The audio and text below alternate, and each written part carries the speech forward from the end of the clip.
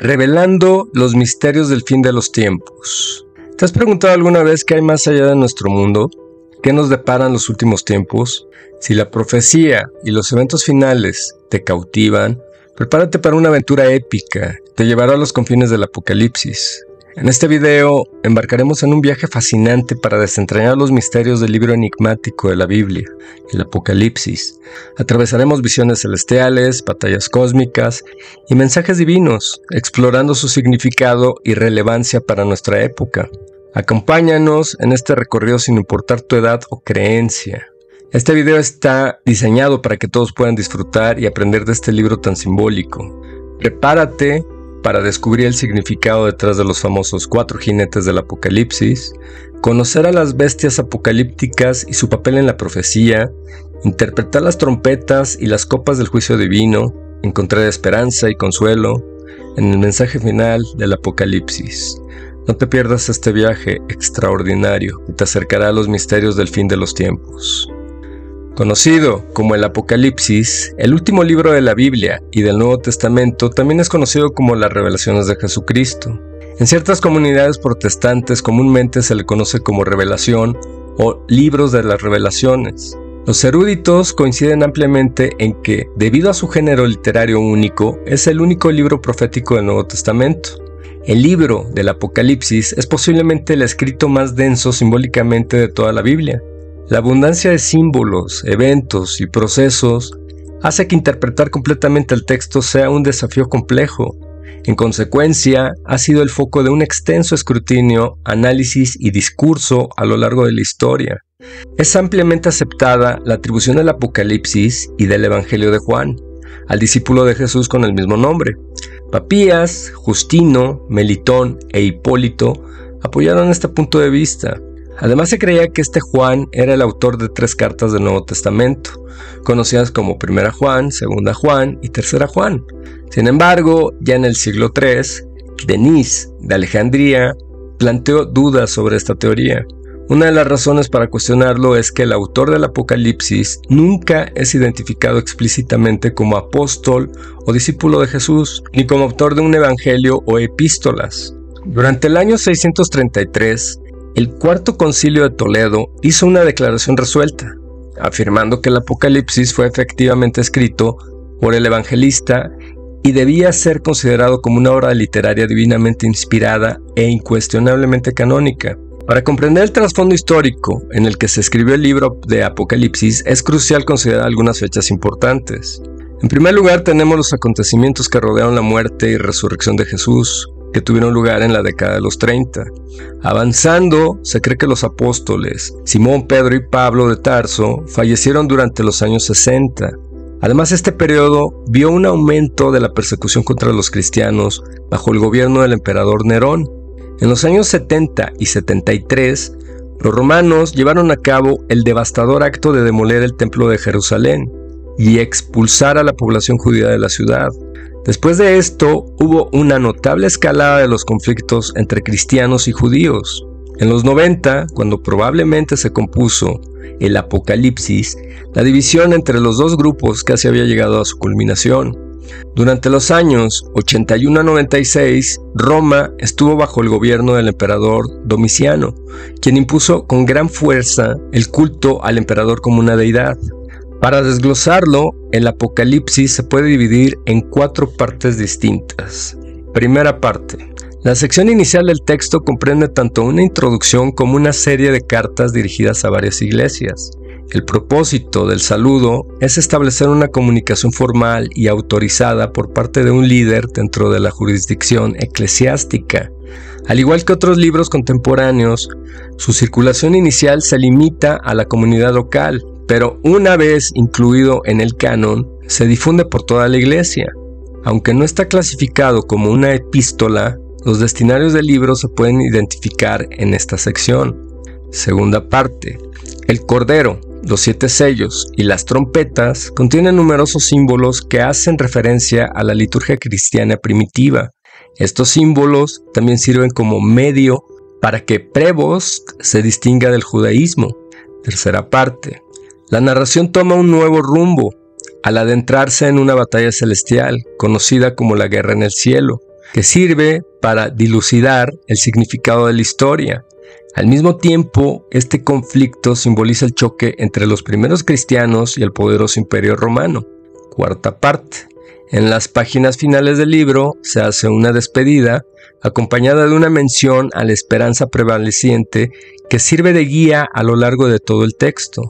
El libro de Apocalipsis contiene segmentos claramente distintos, cada uno marcado por un cambio en los símbolos, manteniendo al mismo tiempo un mensaje consistente de esperanza.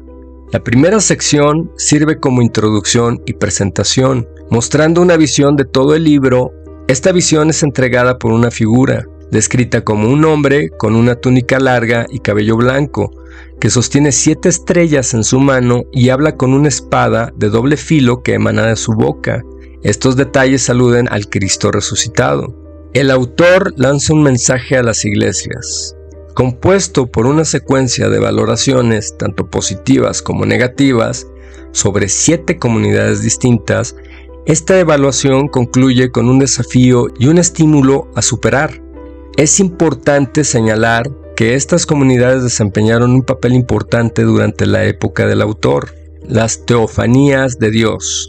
Se exhiben símbolos para representar la grandeza de Dios, haciendo referencia a teofanías importantes del Antiguo Testamento. Estos incluyen la zarza ardiente, el monte Sinaí, el llamado de Isaías y la visión de Ezequiel junto al río Quebar, el Cordero.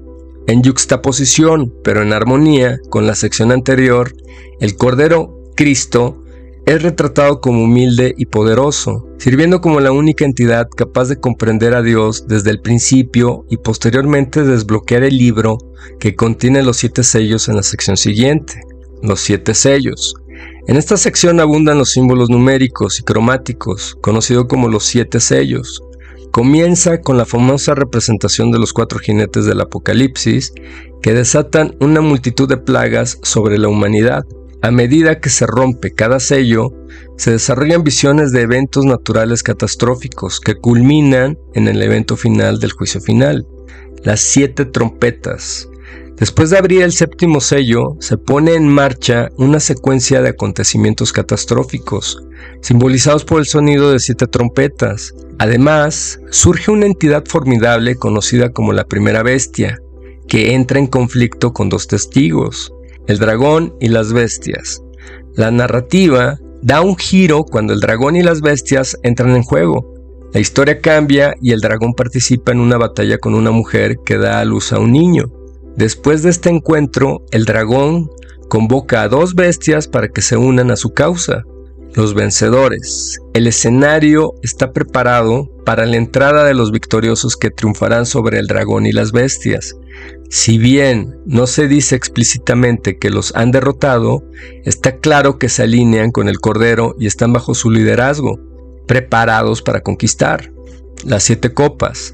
El simbolismo numérico se emplea una vez más en referencia a los eventos cataclísmicos, específicamente el choque final que comienza cuando los ejércitos se reúnen en un lugar conocido como Armageddon, la prostituta y la caída de Babilonia.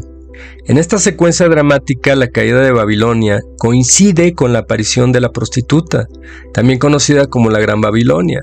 Con la ayuda de las bestias y el dragón, ella ocupa un lugar central, sin embargo, la llegada de Cristo sobre un majestuoso caballo blanco cambia el curso de los acontecimientos.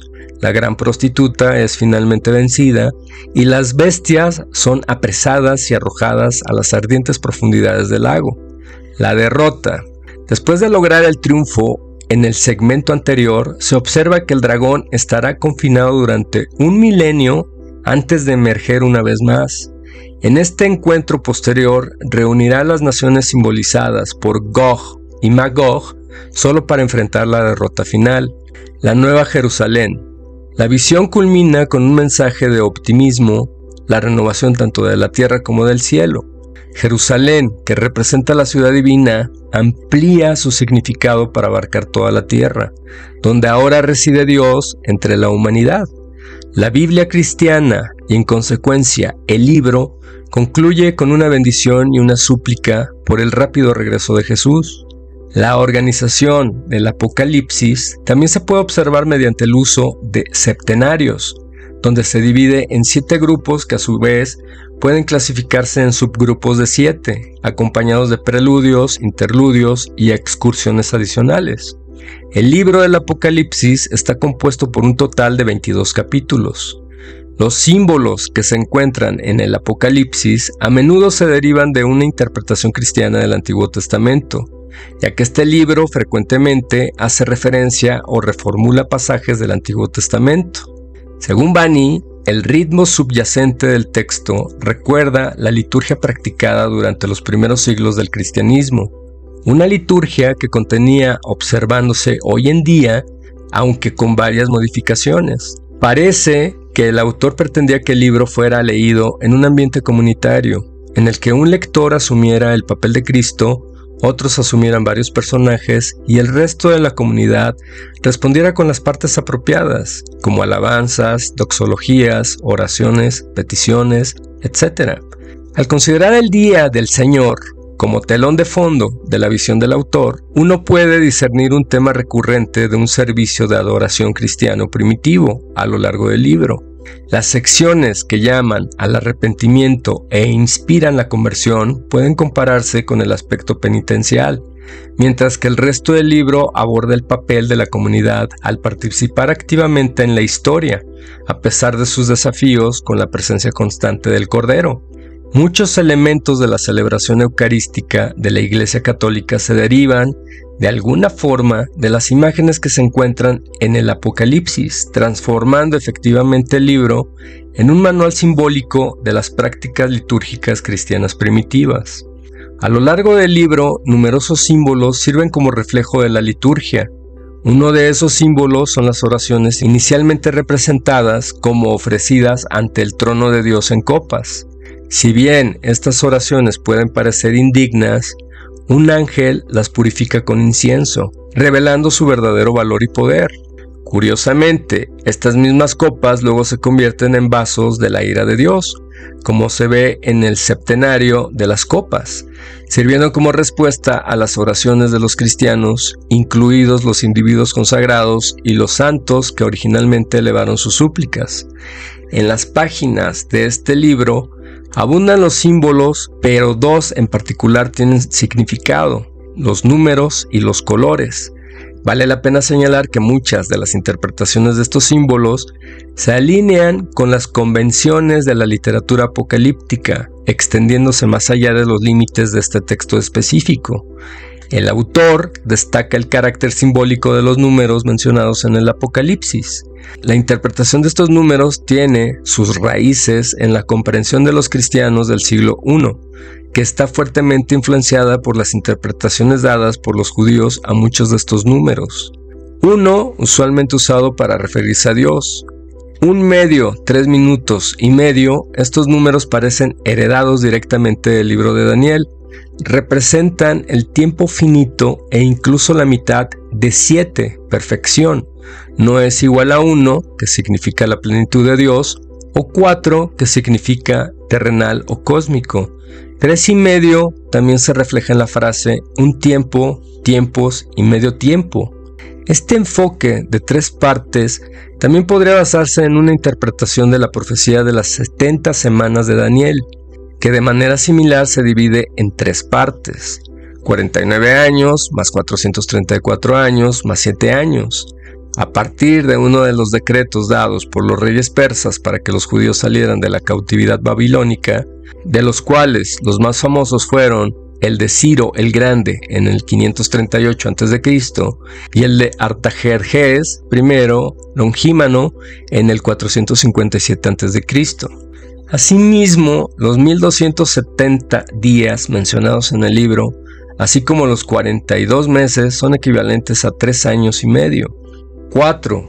Puede referirse a la Tierra o al universo o a la creación a través de los cuatro puntos cardinales y también se aplica a las cuatro personas vivientes que se encontraron con Dios al inicio de la visión y algunos se identifican con los cuatro evangelistas, aunque hay poca razón de esto último.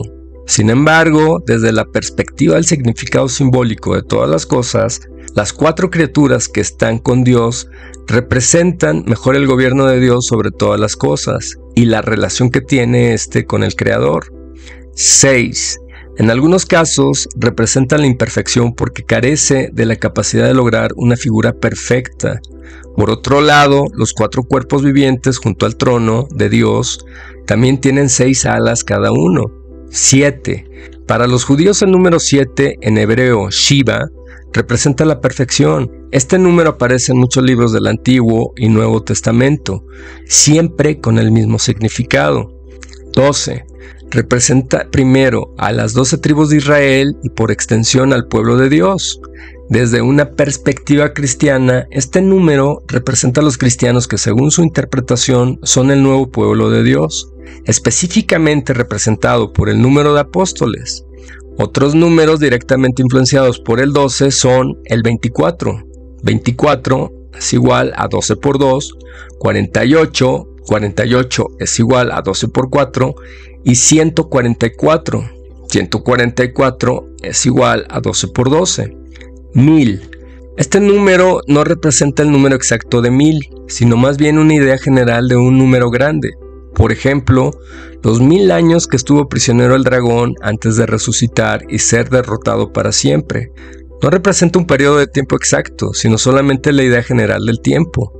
Asimismo, muchos de los otros números que aparecen en el libro tienen significados simbólicos según la interpretación de la literatura apocalíptica. Por ejemplo, 3 puede representar a Dios, y mientras que para los judíos el número 3 ya representa la divinidad, desde una perspectiva cristiana también representa la divinidad dada de la Trinidad del Padre, el Hijo y el Espíritu Santo.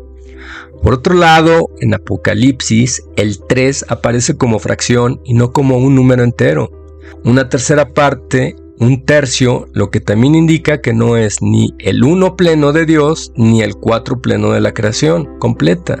Y dos tercios no están afectados y un tercio sí lo está. También aparecen otros números como 2, 10, entre otros. El color también juega un papel importante y tiene su propio significado.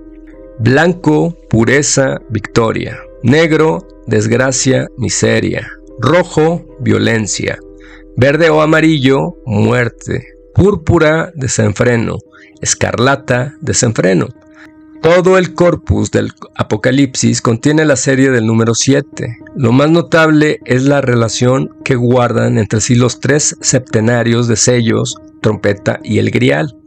Los siete sellos ocurren cuando el Cordero abre los sellos de un libro uno por uno, y nadie puede abrir el libro excepto él. Antes de que se rompieran los sellos, la visión era en el cielo, con la aparición de Dios y el Cordero y el gozo que proviene de su capacidad para abrir el libro.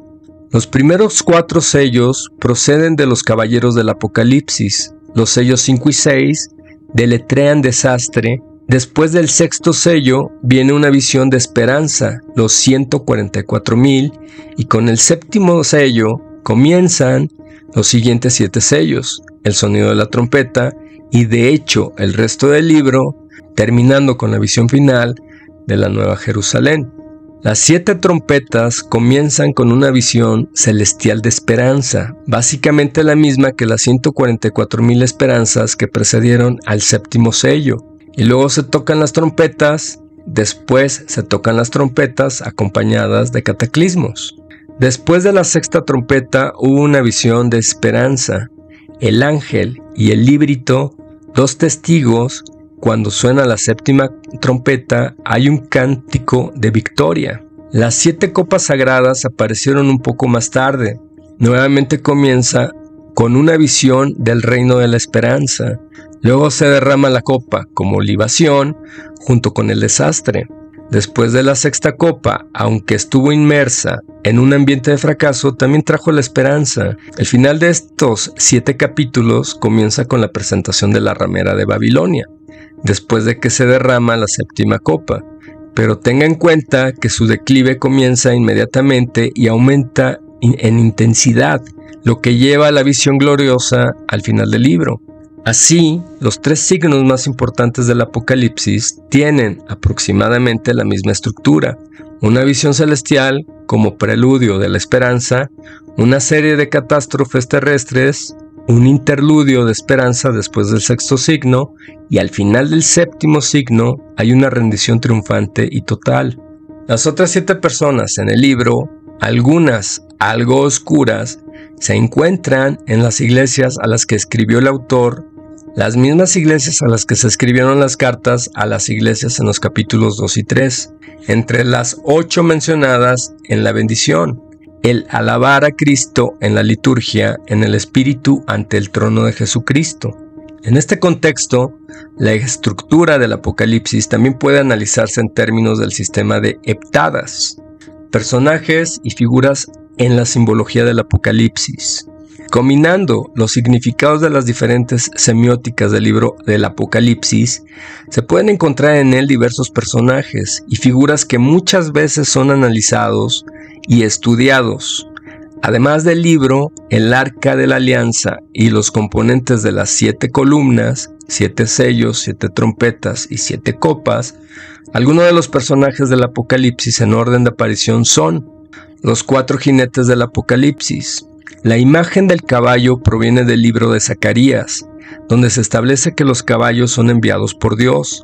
Estos jinetes, cada uno montado en un caballo de un color específico, trae una plaga en toda la humanidad. Recuerde que el número 4 representa toda la creación, por lo que la plaga se extenderá por toda la tierra. Teniendo en cuenta los significados de los colores, las interpretaciones más comunes de lo que representa cada jinete son las siguientes. El caballo rojo representa la guerra, el caballo negro representa el hambre y pobreza, el caballo verde o amarillo representa la muerte o la enfermedad, el caballo blanco representa la muerte para algunos porque siempre gana, pero para otros representa la muerte por su color porque lleva una corona y porque los cristianos no creen que la muerte sea invencible. Más bien representa a Cristo o al jinete en su representación, y también hace referencia al lugar donde aparece nuevamente el caballo blanco con Cristo montado en él. Los 144 mil.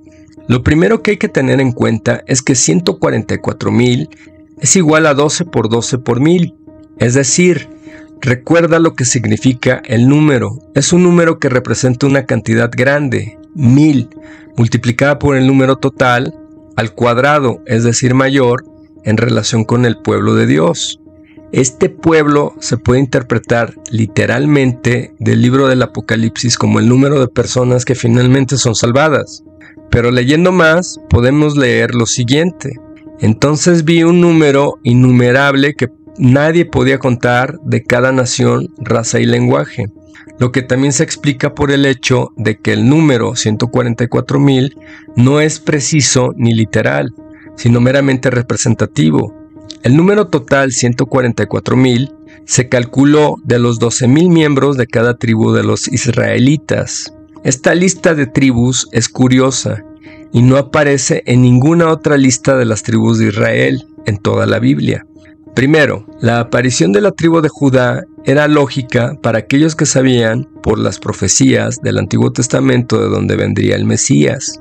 Luego vino la tribu de Rubén, que era hermano de Judá y no ganó. Por otro lado, no aparece la tribu de Dan, ni tampoco la tribu de Efraín, que sí aparece en otras listas, pero sí las tribus de Leví y José.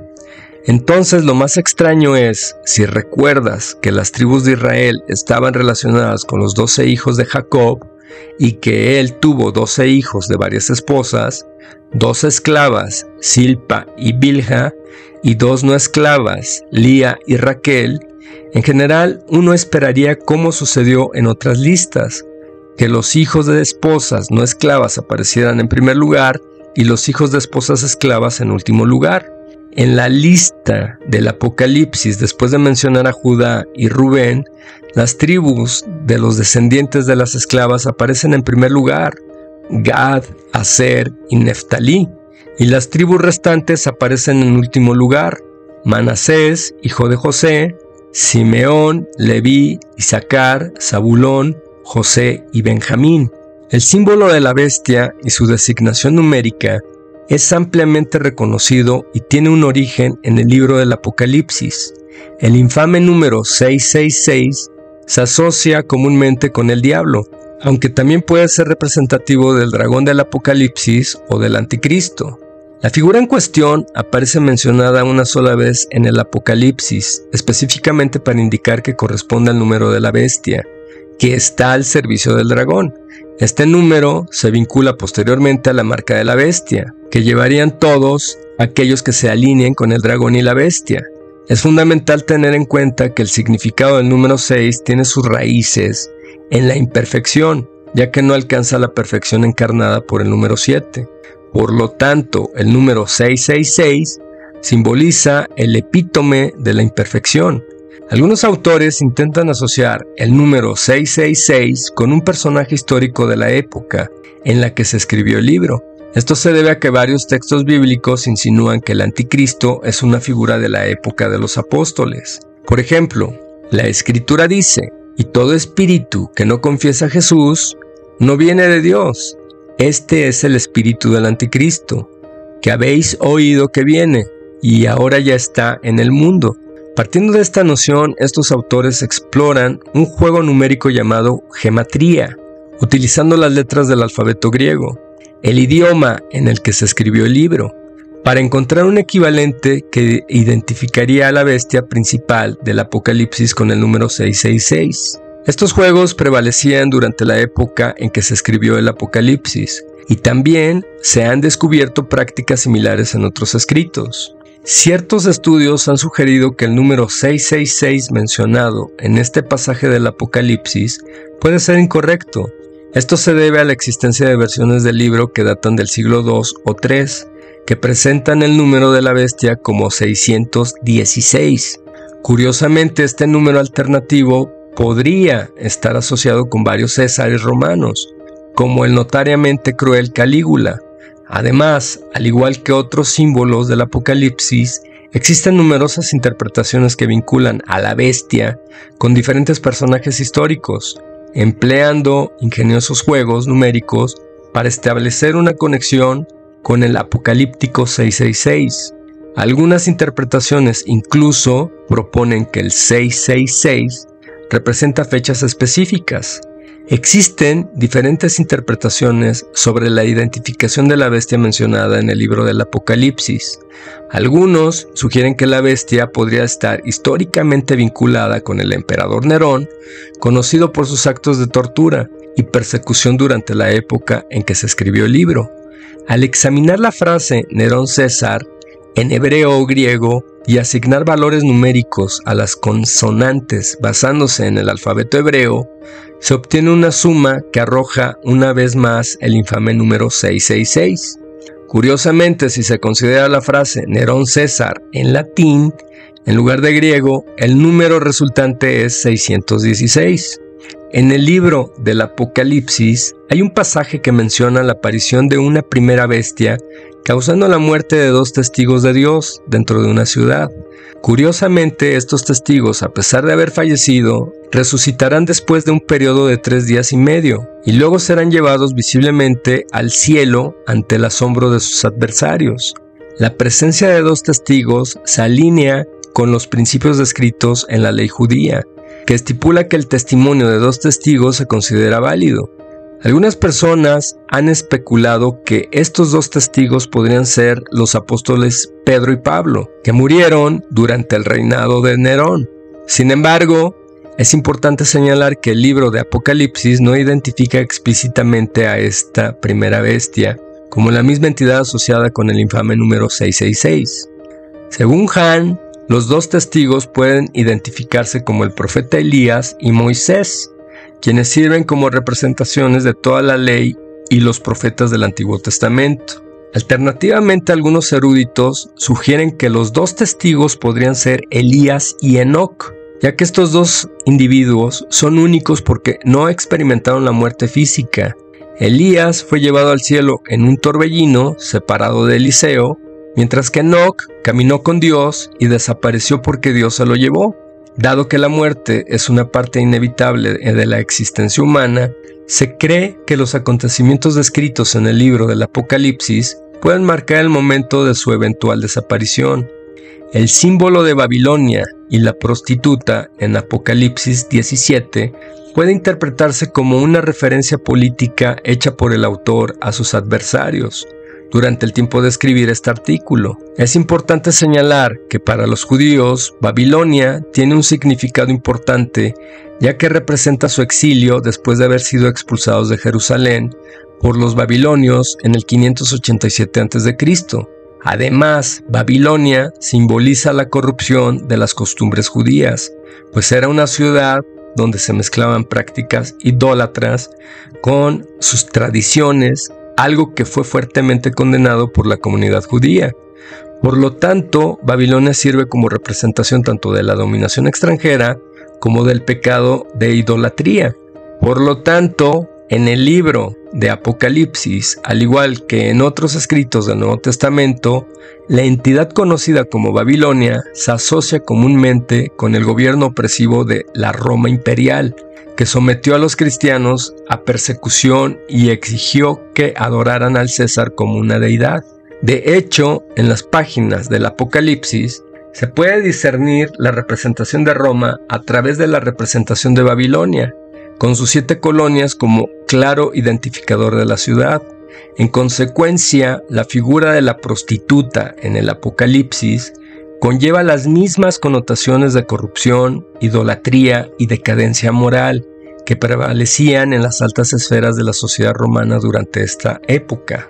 Por el contrario, hay quienes asocian Babilonia con la ciudad judía de Jerusalén, que comparte las características de tener siete montañas, esta ciudad contrasta marcadamente con la Nueva Jerusalén que se describe al final del libro. Uno de esos estudiosos, Han, explora ampliamente los paralelos entre los acontecimientos catastróficos del libro del Apocalipsis y la destrucción de Jerusalén en el año 70 después de Cristo. A lo largo de la historia han surgido numerosas interpretaciones sobre el carácter enigmático de esta ciudad, que ha sido calificada de perversa. Desde el papado católico hasta la multitud de ciudades e individuos, se le han atribuido diversas identidades. Una representación notable es la de la mujer vestida del sol y el niño. En el libro del Apocalipsis hay una representación de una mujer adornada con el sol, con la luna bajo sus pies y una corona adornada con dos estrellas sobre su cabeza.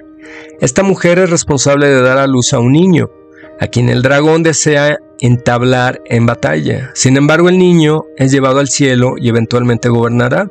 Como resultado, el dragón dirige su agresión hacia la mujer y posteriormente apunta a sus descendientes. Según Prevost, el paso inicial para identificar a la mujer reside en reconocer al niño. Al adoptar un punto de vista que considera que el Apocalipsis se centra enteramente en torno a Cristo, se puede inferir que el niño simboliza a Cristo mismo. Mirándolo a través del lente de la Mariología, esta figura sería considerada como una representación de la Virgen María, sin embargo, existen numerosas facciones cristianas, incluidas ciertas denominaciones católicas, que interpretan este símbolo como el cuerpo colectivo de creyentes que abarca el Israel fiel antes de la llegada de Jesús y posteriormente a los cristianos. Incluso en el marco de la fe mariana, que reconoce a la mujer como María, el énfasis permanece en el aspecto eclesiológico y comunitario. La representación de la mujer tiene un parecido sorprendente con la imagen icónica de la Virgen de Guadalupe, que está parada frente al sol, como lo demuestran los rayos de luz amarilla que emanan detrás de ella, y está colocada sobre la luna. Además, porta un manto adornado con numerosas estrellas, aunque no precisamente doce. Curiosamente esta imagen se alinea con la descripción que dice, pero a la mujer le fueron dadas las dos alas de la gran águila para que volara al desierto a su lugar. Allí será guardada, lejos del dragón por un tiempo, dos veces y medio tiempo. En la imagen se puede ver a un ángel cargando la luna.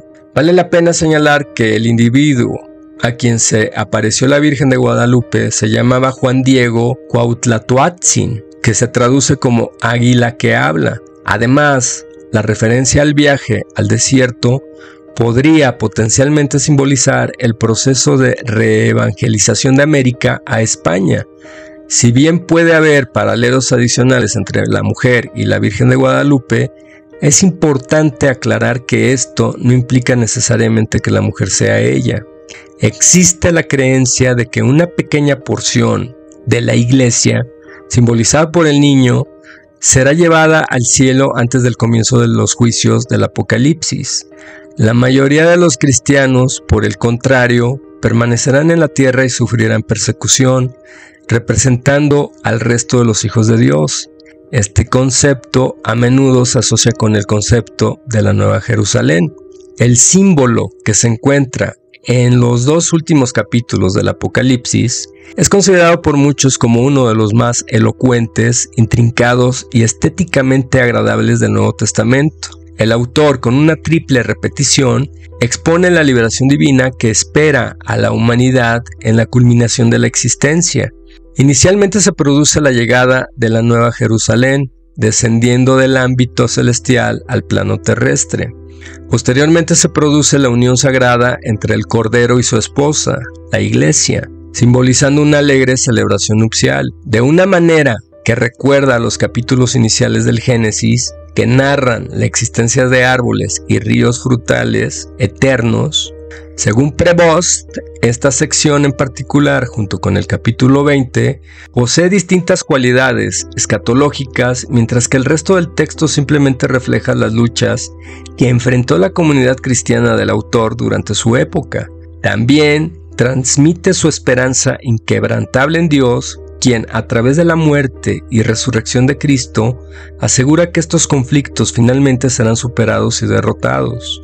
Se puede hacer una observación fascinante con respecto a las representaciones contrastantes de la Nueva Jerusalén, que representa la ciudad sagrada, y Babilonia, que simboliza la ciudad malvada. Hay un lamento triste por la caída de Babilonia, mientras que también presenta una descripción vívida de la gloriosa Nueva Jerusalén. Estos dos pasajes escriben una relación paralela e inversa ya que las connotaciones negativas y las expresiones de dolor asociadas con Babilonia se invierten, dando paso a una sensación de júbilo y alegría para Jerusalén.